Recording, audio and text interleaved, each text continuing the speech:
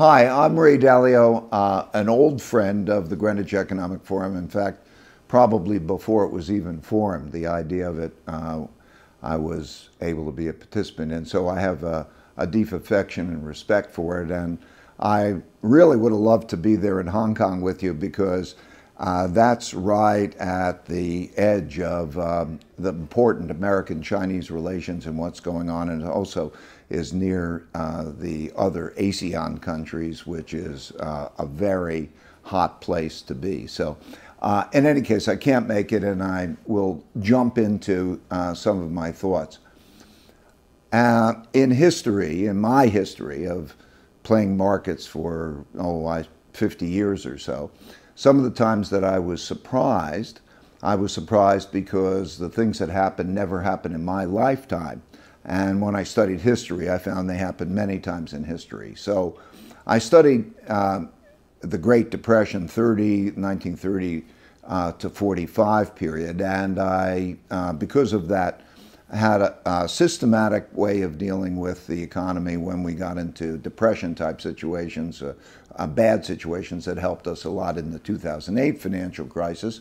And so three important developments are happening now um, that prompted me to do the study, which uh, led to the book that I wrote, which is Principles for Dealing with the Changing World Order. Um, those three things are an enormous amount of debt creation and the monetization of debt, uh, magnitudes uh, not reached except for the 1930 to 45 period.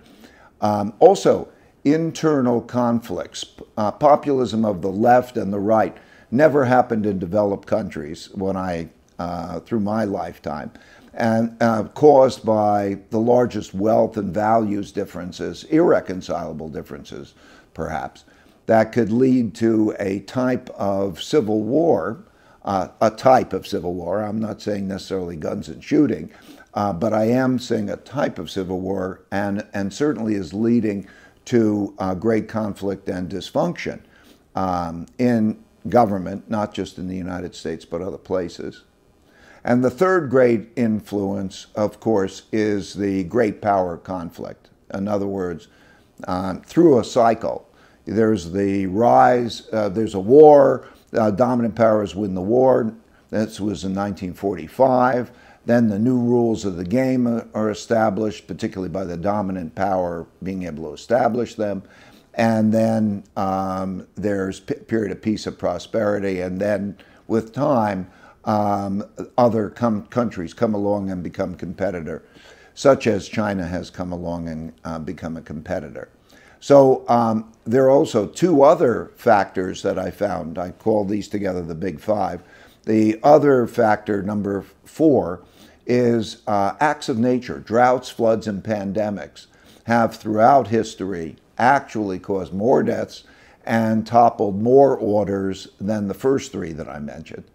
And then throughout history, great technology changes, big changes, such as the industrial revolutions. And of course, we are going through those types of changes with AI and other forms of technology changes that are having and will have revolutionary effect. So I call that, you know, the big five.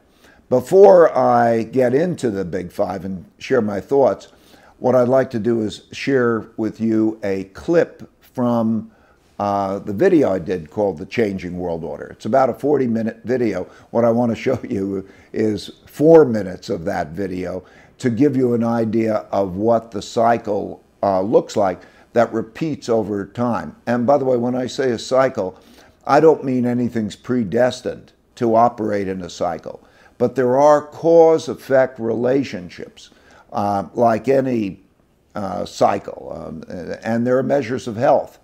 And those measures can be uh, seen and measured and anticipated to help to take a view of the future. So I want to show you the pattern that I've seen by studying the last 500 years of history, which is covered in my book, Principles for Dealing with the Changing World Order. So I'll take uh, four minutes of your time to show you the animation.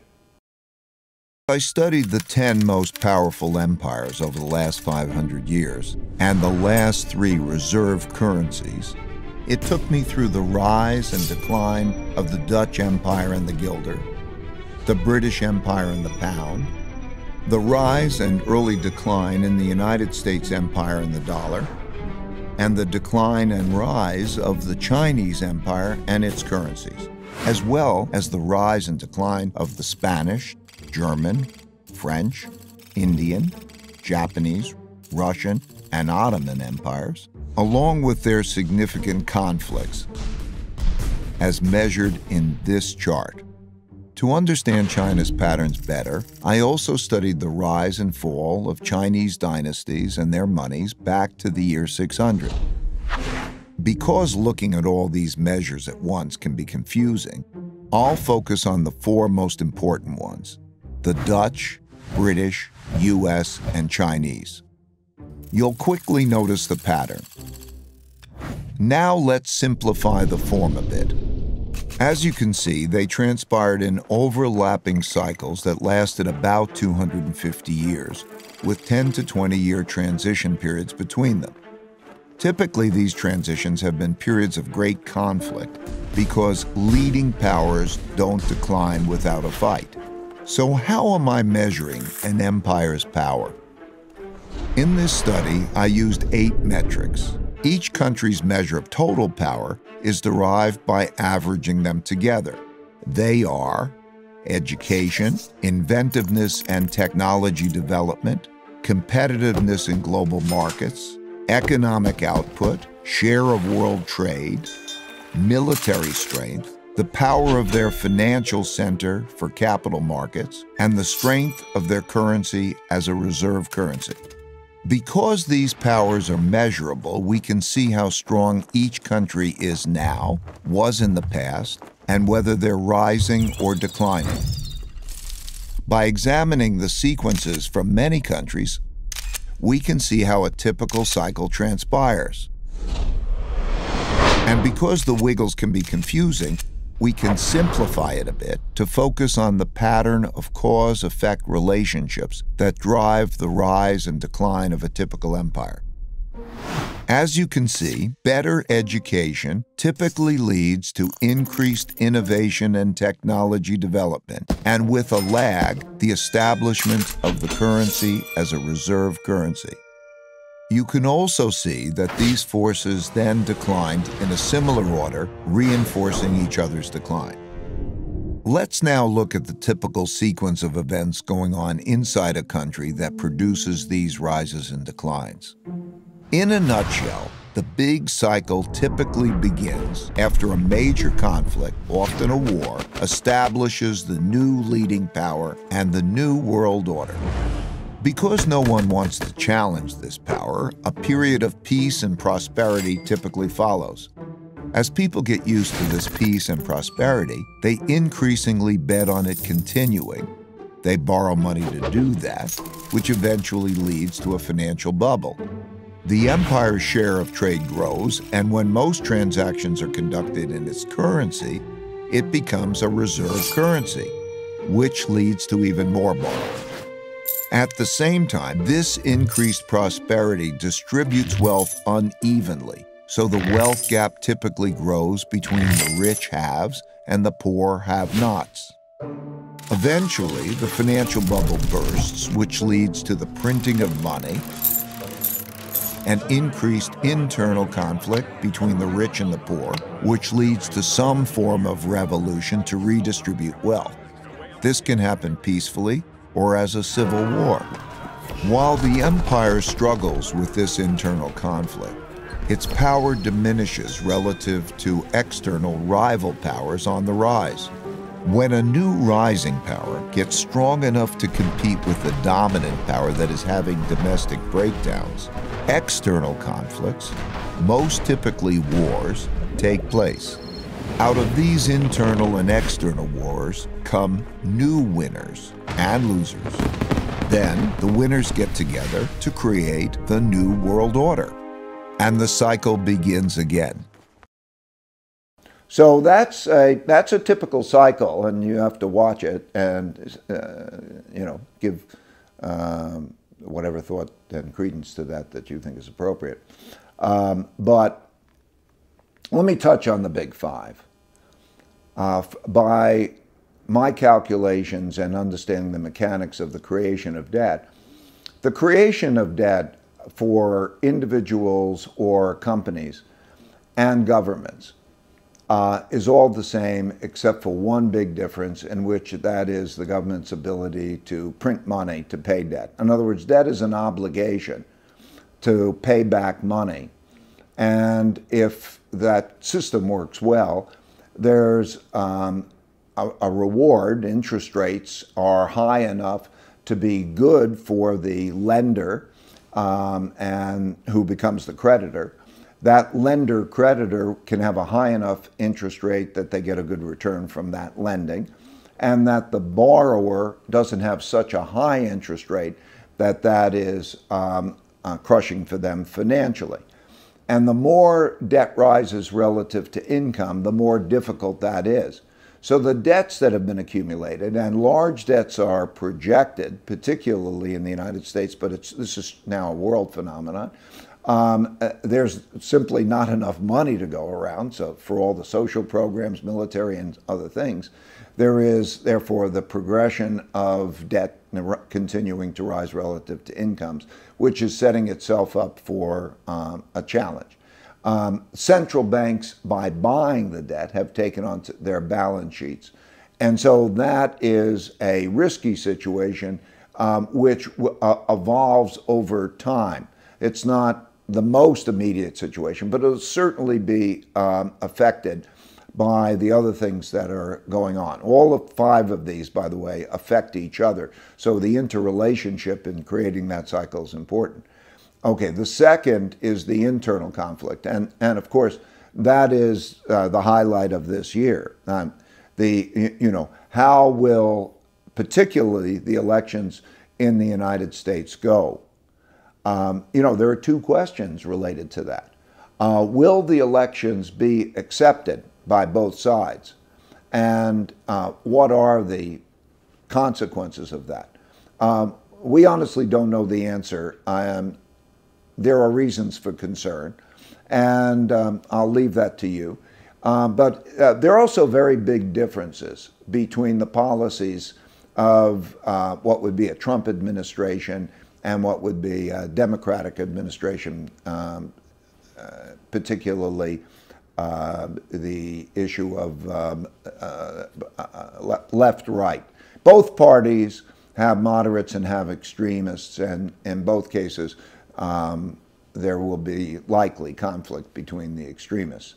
And so, um, in the in the Trump presidency, you're getting much more of a um, uh, nationalistic, isolationist, uh, protectionist type of policies that are of the right and are likely to offer more protections um, to those who um, have larger amounts of money, come, the wealthy and, and the um, corporations. And of course, on the left, most of those uh, policies are somewhat different. But the one thing that there's broad agreement on is the um, is the um, I would say anti-China policies. So uh, that brings us. Um, so in 2024, uh, we are going to learn a lot about these and what the policies will be. The second, um, uh, uh third influence, excuse me, of the great power conflict is something that you all are, see up close. And um, um, both countries, the United States and China, have their own sets of challenges. Uh, in China's case, um, there is a, um, of course, the real estate uh, creating the uh, the debt issues and the economic issues coming from that. Um, and as President Xi said, there's an approaching one in a hundred year storm on the horizon. And there are um, uh, uh, domestic issues. Uh, climate, of course, is a big issue, has always been for China. and um, there are those financial issues and uh, taking more of a top-down, um, more autocratic type of approach to uh, consolidating power and operating from uh, the top. And then, of course, in the United States, we have the uh, internal conflict and the problems we just spoke about. And of course, that has enormous implications for uh, the world. Um, because if you read history, you see that the economic warfare uh, precedes military warfare. I, I can't comment. I have no particular inside information regarding military conflict. You all see the situation. I uh, believe it's most likely that there's not an imminent um, uh, form of military conflict. Uh, but we do have a situation, of course, with Taiwan that there is a one China policy, and that is, um, and that will not go on forever. And so that uh, has created a set of circumstances now in which um, uh, there's, there are questions.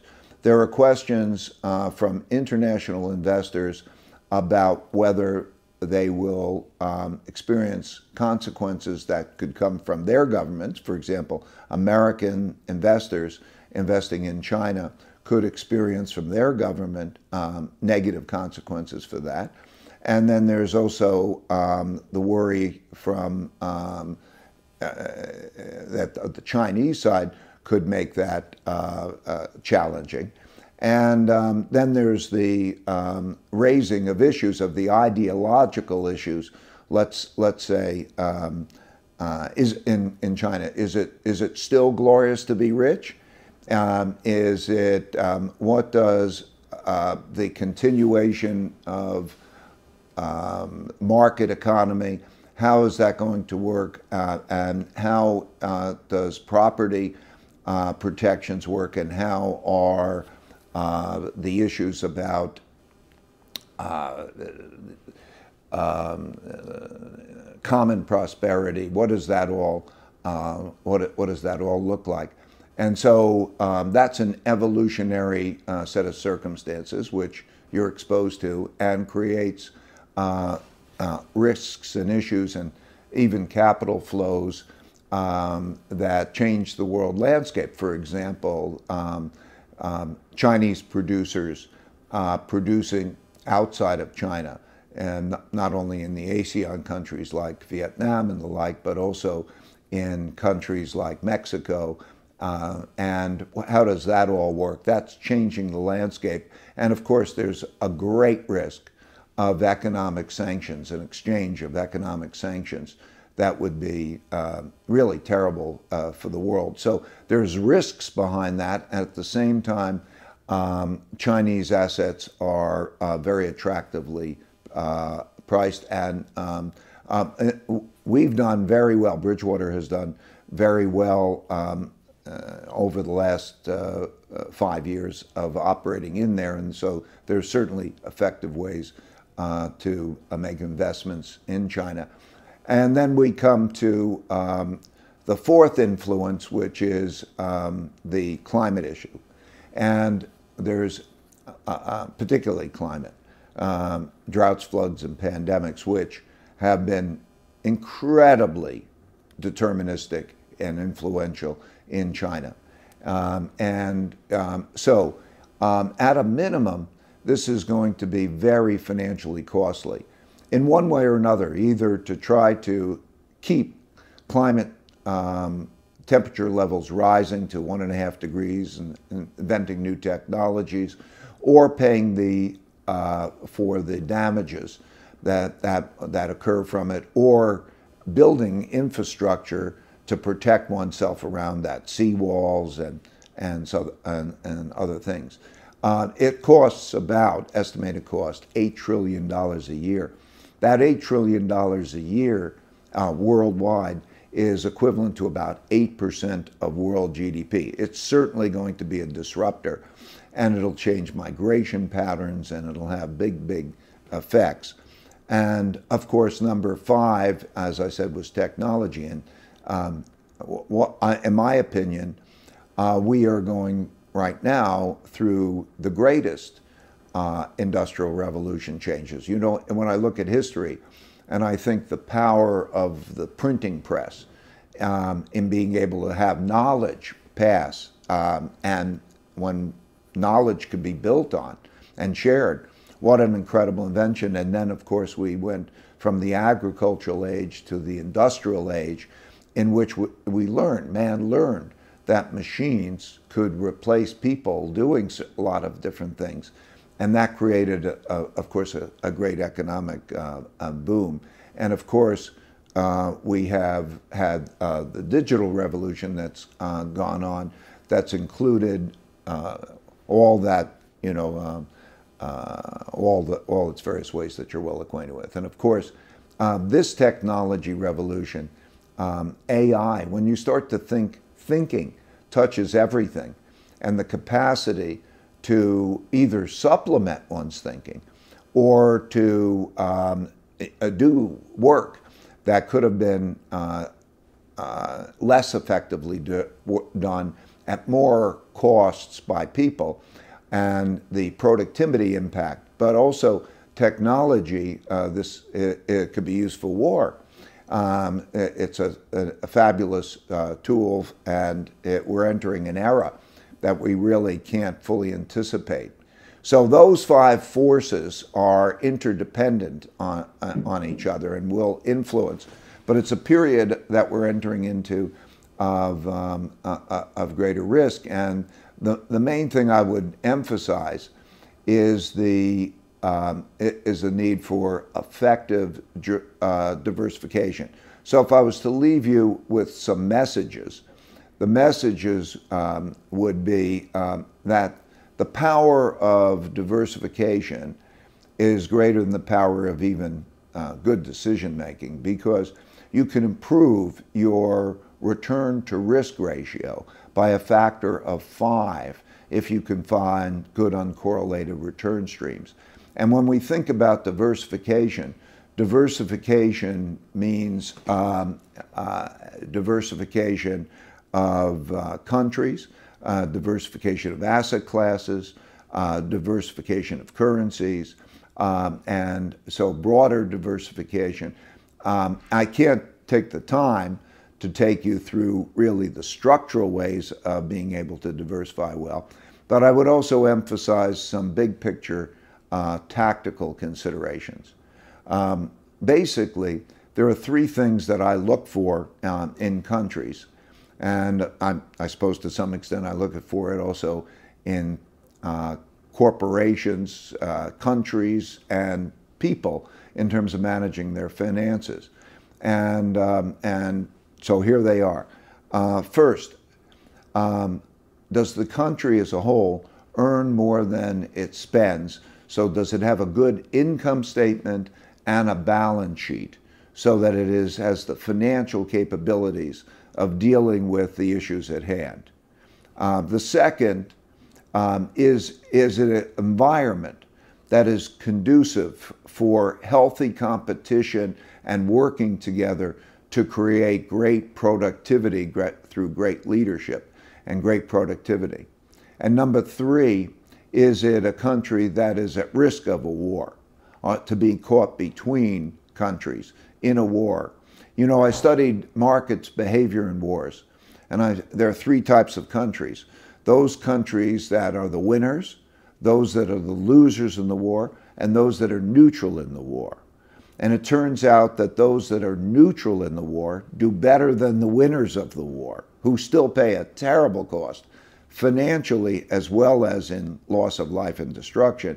And then, of course, um, the worst is the losers of the war who lose everything. My main point is that in thinking about what is the financial health of a country, what, how well do they work together to be productive together, and are they at risk of, of um, a conflict that would be disruptive to all of that? So that's what I look at when I'm uh, thinking about diversification. I think about diversification of asset classes. Um, and I would say a couple of things. Um, I, um, I am worried about debt assets being able to provide an adequate return. Uh, there has been a big monetization of debt, so now central banks own a lot of those debts. They have losses on those debts. Um, if things continue, uh, then they will have to monetize even their losses. And that's a, a, a classic late cycle uh, inflationary um, consequence. Um, in, um, in, addition, one man's debts are another man's assets. Right now, um, there's a need for about a 2% real return. That's a good guideline of an indifference point 2% real return is required in order to ha have an equilibrium. And so watch that real return um, to see is if it's maintained and if that could be maintained without um, uh, uh the, the, the, debt squeeze um, happening. So uh, for those reasons, I don't like uh, debt assets. I like um, uh, equity assets. Um, I think that gold should be part of the portfolio. Um, gold is an alternative money. In fact, it is the third largest reserve currency after the dollar um, and the euro and ahead of the yen. So I would uh, diversify and pay attention to those. Those are my general thoughts.